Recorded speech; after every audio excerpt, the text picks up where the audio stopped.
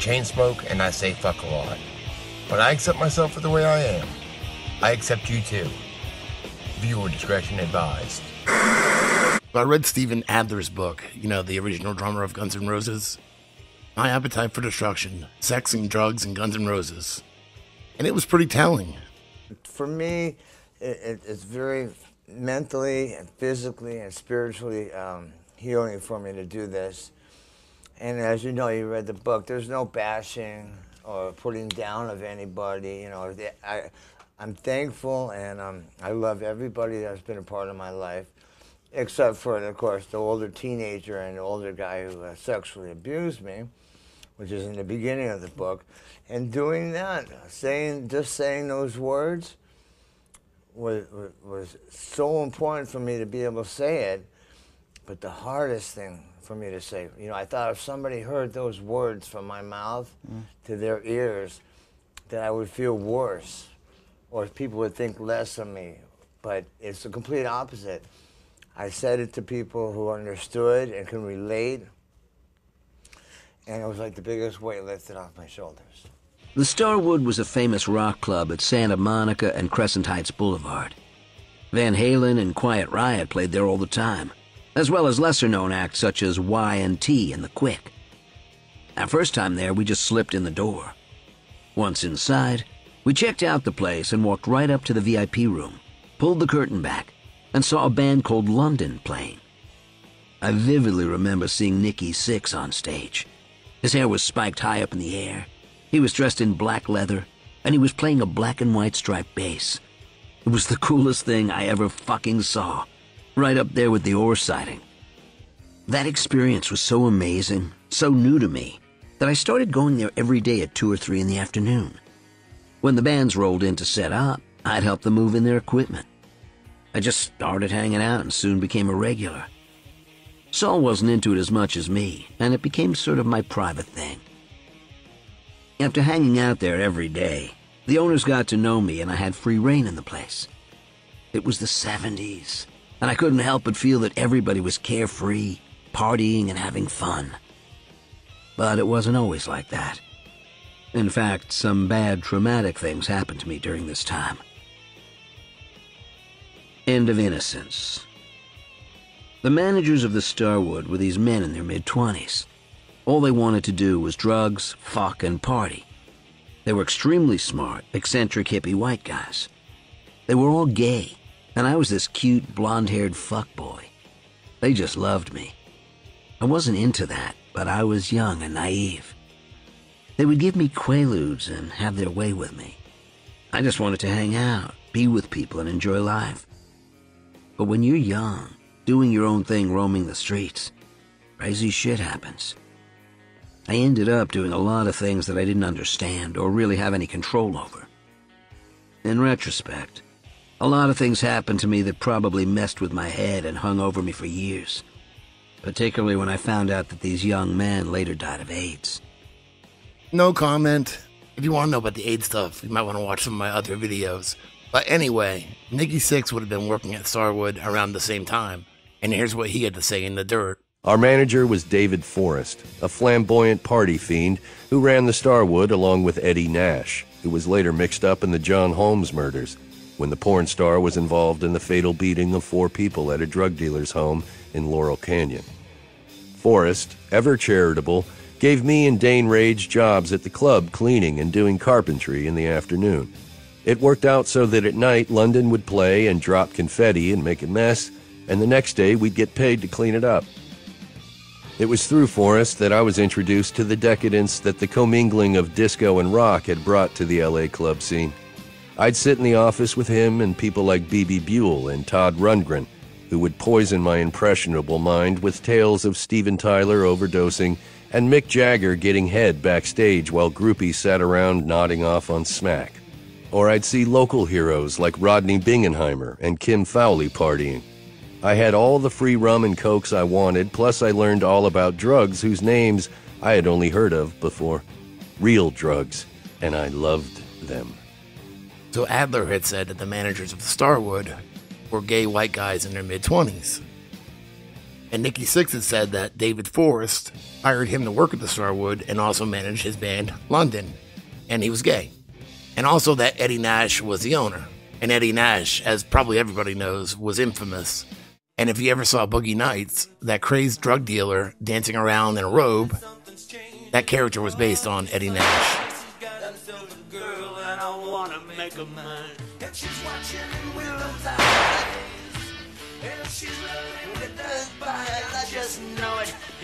Ricky Springfield, the body of mine.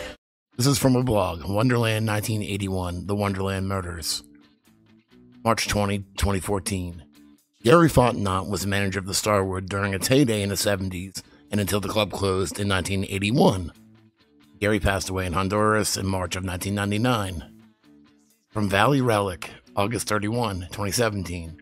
I knew Gary casually in the late Starwood era, 1979 through 1981. I was 18 or 19 when I started going there regularly and was what you may call a quote pretty boy at the time. Though the Starwood was ostensibly a straight rock and roll club, everyone back then was using a lot of cocaine. And the Starwood was frequented by a, a lot of older gay and bi men who liked to lure the straight boys with drugs and alcohol. Gary's friends were a lot of these guys, and his upstairs office was usually filled with a handful of men in their 30s and 40s and the quote chicken they had pulled from downstairs, doing coke, weed, and drinking. Occasionally, there were VIPs among this group, including well known radio DJs of the era, artist managers, record executives, publicists, and even an actual rock star from time to time. I won't divulge the names to protect identities, but boy, could I name names. The Starwood epitomized the quote sex, drugs, and rock and roll lifestyle of the late 70s West Hollywood. I'm grateful I survived it. Glad that I can fondly reminisce about my experiences there and share them here. From Matt, November 5, 2017. As I read more, I see David Knight, aka David Neodorf, another pig that destroyed kids' lives. And apparently, David Knight was in charge of booking at the Starwood up until around 1979. So if we put all this together, we have Eddie Nash, owner, Gary Fontenot, manager, David Knight was booking agent and promoting manager. You can't find a lot on him though, but apparently in this blog, he also went by David Neodorf. But the only David Neodorf I can find is an actor, and I'm pretty sure that's not him. And David Forest took over for him in around 1979 as booking and promoter manager. And two out of four of them were definitely gay. We know Gary Fontenot was, and David Forest. David Forest even said so. Being gay was like a, a situation there at the Starwood that was not frowned up. There was no problem. I mean, you know, um, the fact that Gary was also um, gave it a little undercurrent. I'm sure you've always knew that about the Starwood. It was kind of seemed like the LA version of Studio 54. It wasn't disco, but it was like the rock and roll version where kind of anything went and it was kind of open. Yeah, party, kind sex, of. drugs, Yeah, rock- a little bit. it was. It was. And I had always been friendly with Gary Fontenot, who ran the Starwood for Ed Nash. And I went down there, and he was very disappointed with David Knight, who was doing all the booking. So he fired David Knight, hired me. I brought with me, uh, when I went to work at the Starwood, this lady, Michelle Meyer. Comes back and says, uh, David, I don't know who these people are, but I think you'll think they're cute. And they have a picture. I says, Michelle, what is it? She says, they're called London. And here's a picture.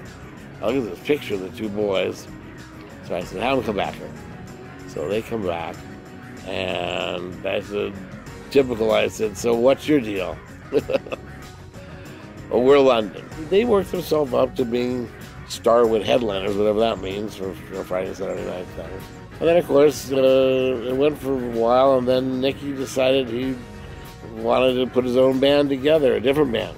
And suddenly you had Motley Crue, who I gave their first booking we ever did. That video comes from a 10 minute clip about his life called From Rock to Cock, because he went on after the Starwood start booking meetings with gay porn stars. He actually was arrested for it twice and spent time in prison. This is from a blog called Punk Turns 30, April 17, 2008. And it talks about the Starwood and everything, but in the comments, somebody called First Class Blonde said, I worked at Starwood from 1978 until 1981. At the time, there were two different Davids booking the club, and we would all hit the Odyssey, this late night gay club that was one of the only places we can go after we got off at 2 a.m. So, was there a time where David Knight and David Forest worked there together? I'm not sure, but according to them, there was. Around this time, Eddie Nash didn't only own the Starwood, he also owned a place called Seven Seas, a place called Sold Out, a place called the Paradise Ballroom, Alibaba's, the Kit Kat Club, and a place called Odyssey. Some people called it Odyssey 1, but I think it was just Odyssey. This is a pretty strange story about this place called the Odyssey, which was this really creepy nightclub in Hollywood from the late 1970s to the mid 1980s. If you look into the Odyssey, it's honestly incredible that this place actually existed. There was so much shady stuff going on with this place. So, the Odyssey was a nightclub for teenagers in West Hollywood that was open until 5 a.m. You only had to be 14 to enter, but reports at the time say this age limit wasn't enforced at all. Basically, if you paid the cover, you could enter and party all night. The club also turned into a go to place for the gay population, which meant that every single night was this strange mix of kids in junior high, the LBGTQ crowd, and even celebrities would frequent the nightclub. And drugs. Apparently, massive amounts of drugs were everywhere. And you really have to wonder about the Odyssey when it was described like this in advertisements the best discotheque for gay 12 year olds and those who like gay 12 year olds. That's just plain creepy, but there's way more to the story than that. Man who owned the Odyssey was Eddie Nash, who was one of the most notorious gangsters in the history of California. Nash was rumored to be involved in every crime you can think of drugs, murders, gun running, and it's honestly incredible that someone like this owned an all night nightclub for teenagers, but he did. Nash was most known for the Wonderland murders, one of the most brutal crimes in the history of Los Angeles. After a group of people broke into Nash's home and robbed him at gunpoint, Nash suspected that members of the Wonderland gang were behind the robbery. A few days later, a group suspected to include Nash and his bodyguard broke into the Wonderland gang's hideout and beat four members of the gang to death with hammers and metal pipes. Officers described the Wonderland murder scene as the bloodiest, most brutal murder they'd ever seen. The Wonderland murders happened in 1981, which is right during the time that Nash owned the Odyssey. The Odyssey was not popular among locals. There were constant protests about the club from area residents residents, and they actually succeeded in temporarily closing it down a few times. The popular nightclub at La Cienega and Beverly Boulevard has been a target for closure by neighbors and city officials for the past nine years. They claim the young patrons fornicate and urinate outside the club and near their homes. During one of these temporary closures, the Odyssey burnt to the ground. Arson investigators are looking into a fire that broke out late today at the controversial Odyssey nightclub and the general belief is that it was burnt by Nash for the insurance money. Arson investigators are on the scene. This is an incendiary fire. Witnesses say that flammable liquids were thrown into the structure. Over the next few decades, Nash spent time in and out of prison for drugs and racketeering charges. Despite his obvious links to the Wonderland murders and the Odyssey arson, he was never convicted of either crime. In 2014, Nash died at the age of 85, and most of the secrets about what really happened in the Odyssey went to the grave with him it makes you wonder if there's a pattern going on in some of these clubs. Steven Adler, of being sexually abused by older men at age 13 affected me mentally. April 2, 2017. I couldn't talk about that forever, but it was something deep inside that hurt me. I used to hang out at the Rainbow and the Starwood and stuff like that. And one night, this older teenager I was hanging out with rugged me, and I ended up getting sexually abused by these two guys. I was like 13 years old. I couldn't talk about that forever. But it was something deep inside that hurt me. Once I talked about that in my book, you wouldn't believe how many people have come up to me and said, you know, talking about that made me able to talk about it. I don't think he actually mentioned an older teenager drugging him in his book, but he said something about it later, of course. And just to clarify, I don't think that was Nikki Sixx, because he actually later on tells a story about saving Nikki Sixx's life, and he OD'd. I started smashing him in the head, and I can still hear the sick sound it made when my cast slammed into his face. But Nikki wasn't moving, not even a groan, despite the freezing cold water, the hammer blows, and me screaming at the top of my lungs. Zip. Nada. Now I was really starting to freak. I started slapping him in the face, and suddenly, in what felt like milliseconds, the purple drained away from his face. It was the weirdest thing. Right away, he came back to life. Ten minutes later, an ambulance came and the paramedics rushed Nikki down to Cedars. The next day I found out he called someone to pick him up. He wasn't cleared to check out and had no business leaving. He called me and asked, Stevie, what the fuck happened last night? My face is killing me. I told him, I was slapping you with my cast, dude. You turned fuck all purple.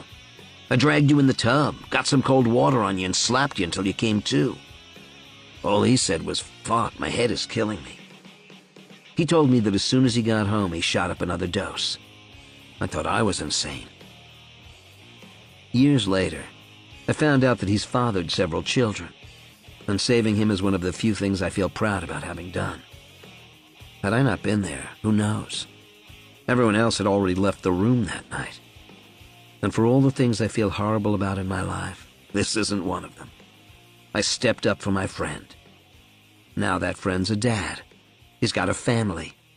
And I'm happy I was there for him.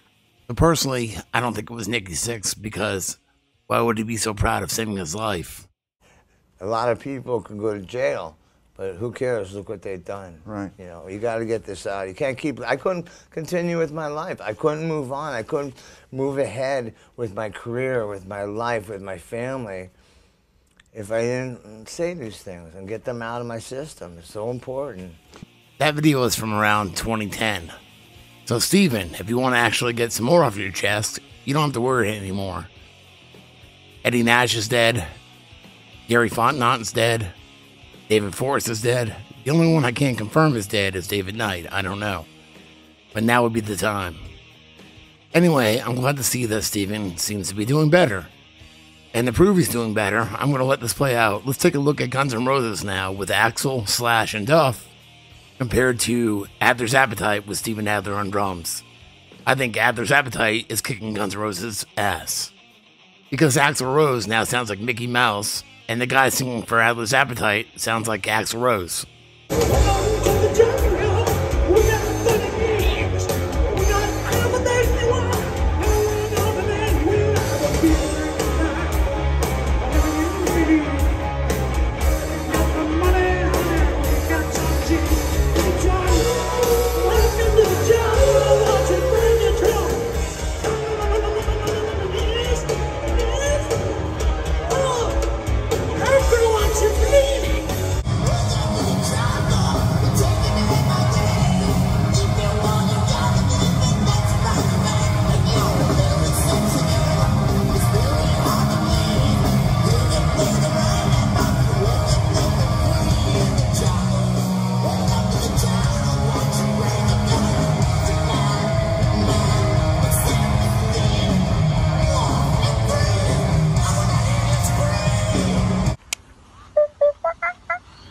Got